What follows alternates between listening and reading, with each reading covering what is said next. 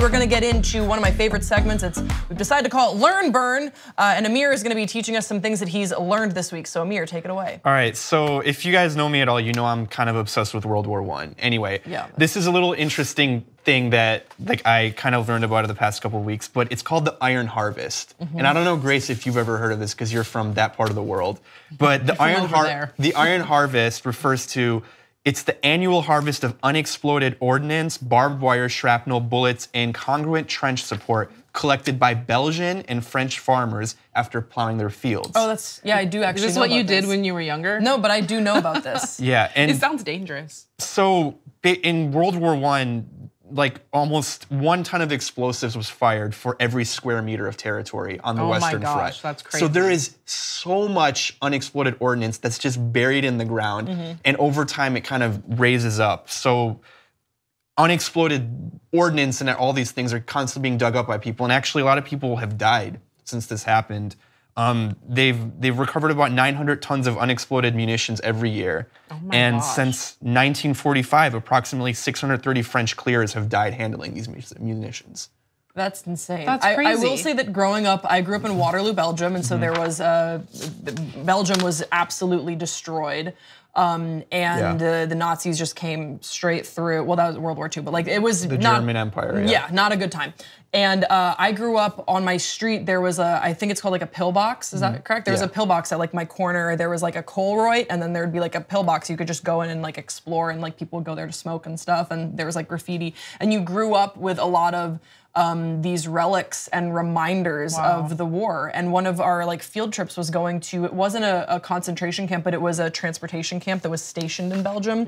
And um, so you're, I, I was maybe nine.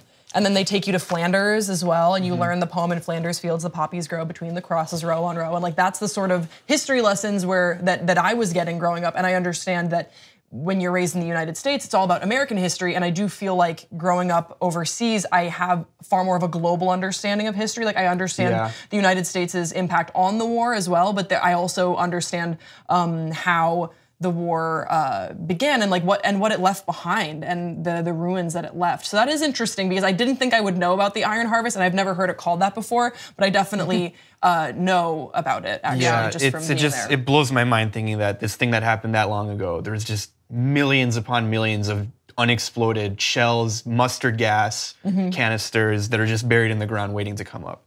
So anyway, that's crazy. Um, moving on, com- something completely different. this this woman named Joy Milne from the UK, she has the ability to smell Parkinson's disease. This is crazy. I know it's it's such a crazy story. So her husband was diagnosed with Parkinson's disease, and she noticed that he started smelling different about six years before he passed away, unfortunately, from the disease. And she said his smell changed, and it seemed difficult to describe. It wasn't all of a sudden; it was very subtle, a musky smell.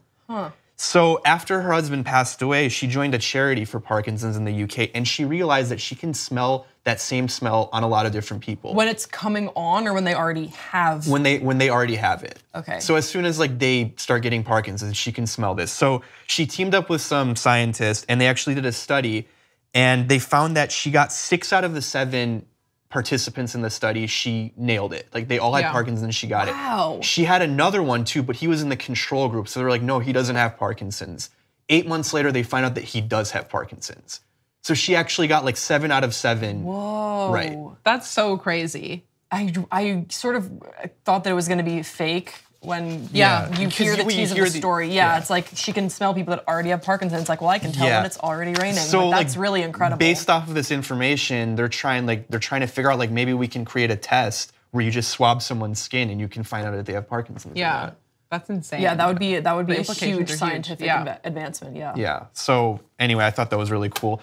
Finally, tomatoes. Tomatoes. Yes, tomatoes. I, I think I've talked to you about this, Grace, a few times, just because super fascinating to me. But like, tomatoes are just like weird. And one thing that I didn't know about them is that they're natively from South America, and they weren't cultivated like until like around 500 BC up to Mexico. And so basically, Western European Western Europeaners didn't get to them until the 1500s. And when they did get them, they thought it was poisonous. Fair. And for about Very fair. 300 years, they just sat in Italy as ornamental fruits. They didn't oh, eat it Oh, wow. until like the late 1700s. That's amazing. So that was that was kind of like an interest. There's a lot more, but If- like the, Yeah. You know what? I wish that there were like little scenes like that in a period movie would just make me live. If it was like a little kid running up to be like, "Oh, don't touch that! It's a tomato. It's poisonous." Like that would be just to date the the, the movie. Yeah. Like little things like that, or just you know how everyone smelled, and we'd never talk about that when Yeah. you like look at old movies. I just Yeah. like we think of tomatoes like Italian foods, spaghetti sauce, pizza sauce, but like for like 300 years they had it, and they were like, we're not going to eat You that. know, that was you just- do not eat that. That was right just there. someone that like didn't like the taste of a tomato and was just like, oh, gross, poison. Someone in a, in a position of power was just like, hell no, those things are I don't crazy. like how they're categorized as fruit. It's very misleading. You think I it should be a vegetable? That's always Absolutely. I think that's like every fifth It's grader's so misleading. fun Do fact. Do you think that's because though we eat it like a vegetable, we don't eat it like a fruit? Yeah, for sure. If the context change at the end. yeah. There's no way to eat it like a fruit? It, it, the way a fruit is a I've fruit. seen people bite out of a tomato and I'm like, you are a psychopath. We cannot ever weird. cross like paths who again. eat onions a like that fruit too. is a fruit if you can put some sugar, some powdered sugar on it, and call it a dessert. You cannot do that with a tomato. No. Therefore, it is a fake fruit. it is a fraud.